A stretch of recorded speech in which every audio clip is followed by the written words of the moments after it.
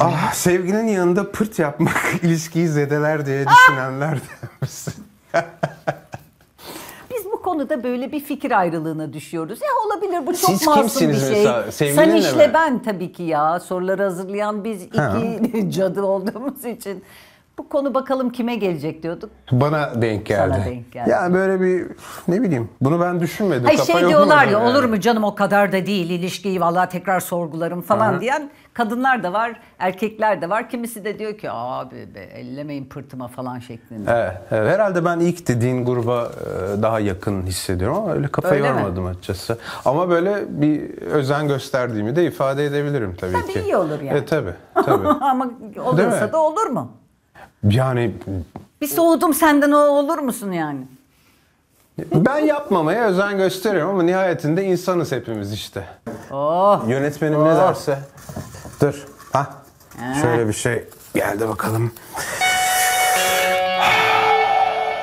Bilmediğin şarkıya biliyormuş gibi eşlik ettin mi? Etmez miyim? Tabii ki. Tabii ki. Çok güzel değil mi o ya? Evet.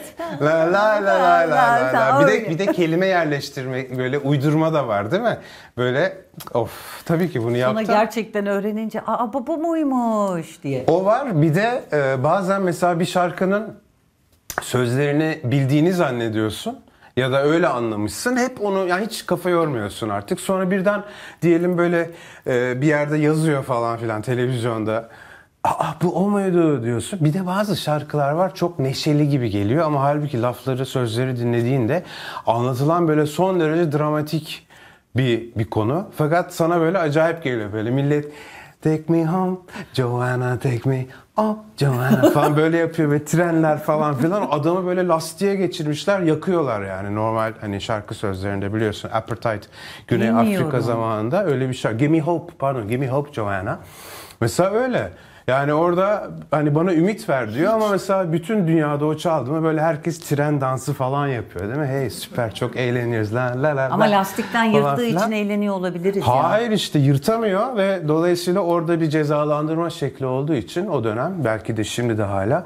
O yüzden dünya garip bir yer. Janset. Evet. İnsan garip bir Evet. şey. Dünya garip değil. Dünya belli ne olduğu. İnsan Dünya ya dünyada şey. aslında onu kastettim. İnsanıyla, inançlarıyla, inançsızlığıyla vesaire. Ee, garip, enteresanız yani. Evet, Ne diyor bakayım? Ah. Şey, el işareti yapmayı biliyor musun? Dur bir dakika. Ya biliyorum da burada nasıl yapacağım yani? Ya öyle bir şey olur mu ya? Gerçekten mi? Bize bir sırrını verir misin diyor Veremem ya. tabii ki biz. Nasıl vereyim?